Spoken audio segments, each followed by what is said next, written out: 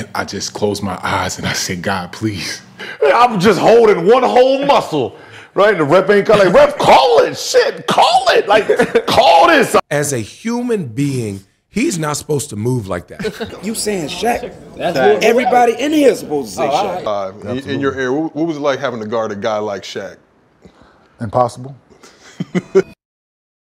When you talk about a player you will feel like you'll lose your life if you play against him, a prime Shaquille O'Neal is the first player I think of. This man was a physical specimen. He was one of the few players that they had to change the rules because of him. I have never seen teams that will get a big man, and it doesn't matter how bad they were, they just had to be big bodies to slow down Shaq. I'm serious, there are big men who owe their whole NBA careers to Shaq. He was that terrifying. You had to have at least two to three big guys ready to go when Shaq is in the post. And even then, he will still dunk it over them and completely crush them. That's the thing that made Shaq one of the most dominant forces in NBA history, which is that most legends will pass it out of a double team. But Shaq is still looking for a way to slam it over two players before kicking out to one of his teammates for an open shot. But what really made him such a nightmare to guard was that he was 7'1, well over 300 pounds, and had amazing footwork in a post and a drop step that was almost impossible impossible to stop. And to add to that, a little hook shot just in case everything fails. I always wonder what Shaq will be with Kobe-like mindset with his talent. It was already a scary sight to begin with, but it will be a sight that you do not want to see. So I will show you NBA legends and players sharing stories of what made Shaq terrifying and a mix of stories that will make you laugh. So enjoy the video, man.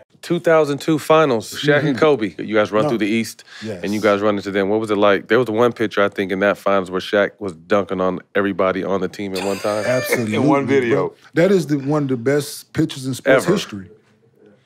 In NBA history, dog. Like steal shots, that's one of the best pictures Mm-hmm. ever. How tough were they though? Huh? How tough were they in their bag though?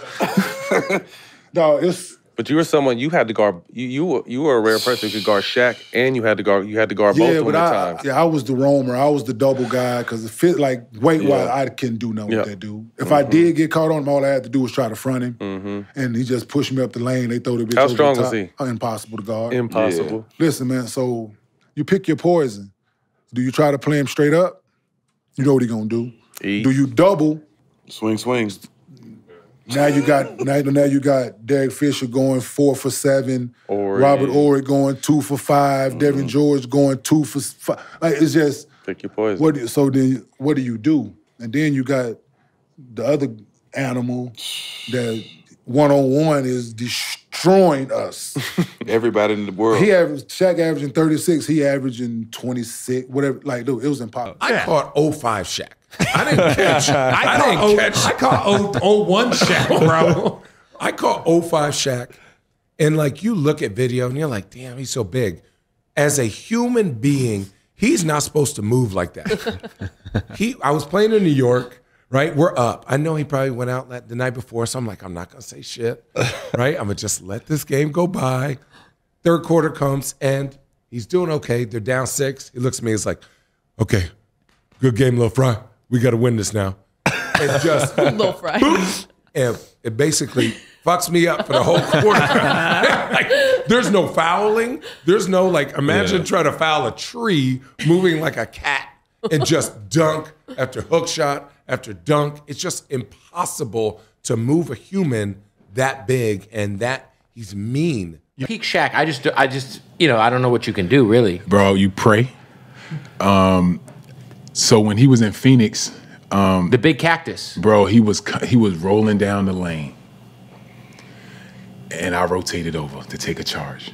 Oh. And when I got there, He's I- heavy I, at had already point. made the commitment, and I just closed my eyes and I said, "God, please." And he hit me and fell on top of me, but you know it just didn't hurt. I was like surprised, like boom. And I opened my eyes and he looking right at me. He was like, "You lucky you from Jersey. Other than that, I would have killed you."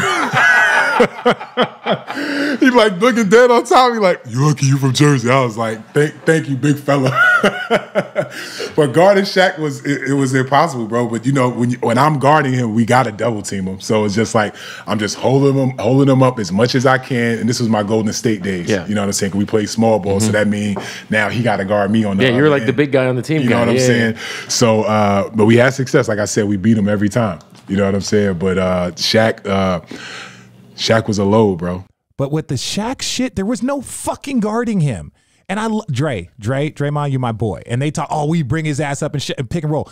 Dre, I love your defense. Like he is a, like the way he has played defense has really changed the game. The ability, his, bro, you were not going in 0, 0, 02.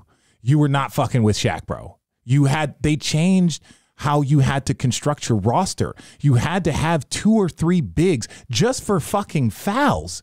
Not like good bigs. We just need bigs there. We need big bodies. He has been the most dominant player in the history of the game of basketball, period. Then not LeBron, not Steph, not Magic, MJ. Like Shaq physically was the most dominant player we have ever seen, like maybe will ever see because of his sheer size, athleticism, skill, footwork, hands, everything. Coach Nelson, and Donnie had the idea, okay, you're going to guard Shaq. And I kind of looked at him and I was like, okay, is this a joke? I mean, the game starts right away. He, of course, kind of seals me. I get around. Lob comes, Sean comes. He basically elbows us both out of the way and dunks it as hard as he could. Of course, the plan didn't work at all. So that was that was my Shaq story. I tried to guard him, and uh, he, he left the game with 46 and probably 24 or last something. time you guarded him? yeah, that was the only time I ever guarded Shaq. Okay. I'm six nine. He's Yeah. seven two. I'm at the time. 350, I'm two and a at the time? quarter. Yeah. Two between two twenty five and two thirty. I'm playing at. Yeah. Was he? He Was he hundred pounds more than me. yeah, yeah, yeah, yeah, yeah, yeah. What I'm yeah. gonna do? Yeah. Got great hands. Got good feet. I'm strong. Yeah. Ain't that strong. I'm saying to stop him from going where he wants to. I can play games, pull a chair at times, and all that stuff. But But just overall, pure physicality. No, it's, you know it's- what I mean? It, it ain't gonna happen. a number of bigs that were hard to guard. Shaq uh, was um, damn near damn near unstoppable. Here's Shaq. Look out. was uh, one of the strongest player I ever played against. But the way you try to play Shaq it's not physical. If you play physical, he's going to destroy you. It- the closest ever, and it wasn't directed at me, it was different position that I saw where maybe guys were a little bit more nervous lacing up I think we're gonna say who. was Shaq. Because Shaq wouldn't just, you know, go out there and, and, and outplay and dominate you statistically, like whatever. He also could potentially put you on some sort of video Mm. clip that could last a lifetime, right? So Chris could- Dudley. Right. And I listen. And by the way, Shaq, uh, second year in the league, maybe he's in Orlando. I'm in Dallas. He, you know, that was leaner Shaq, but picks up a loose ball in the middle of the lane. I'm the closest guy to him, and even then, it was, you know, don't let this guy get layups and dunks, chop him. He starts to rise up, and I, and I just swung down as hard as I could across both forearms, and he just he kept going like full strength, and I'm feeling kind of like my body starting to go upward, like in an upward motion, like where you're, you're thinking like he's Take about to take me off the ground, and you know you you release and let go. So that that's the closest I saw, like in the locker room, the dudes that had to deal with him, maybe a little bit more nervous that night, but no. And I played against a lot of Hall of Famers in my spot. I never felt fear, like you know, more of an adrenaline excitement actually to play against those guys than anything. And so it's like Shaq is the one guy because he was so you're looking at him like the fear that you might get is he's doing that full speed thing. Am I really going to try and take a charge on this? The most dominant big man, what the best big man ever of all time. Kareem. Kareem. See, you can't say Kareem said first Wilt. of all because you don't know nothing about no Kareem. I did. If I don't know about Kareem, then I That's the that's the that's the What I just politically. said when y'all asked me for my top five. I'm saying Shaq then. I ain't say nothing. Like this dude right here, man. I remember we was playing them. Man, Steve, you're a historian with this thing, man. You look up the game. It, it was a regular season game, and I remember they threw it to him, and I tried to foul him before he was going up and jump Playoffs? on. No, I, I remember jumping on his back, and he took me up with him. I ain't lying, dog. And, and, and Kobe looked at me and said, "Man, what the hell is wrong with you? You trying to die? Are you trying to die?"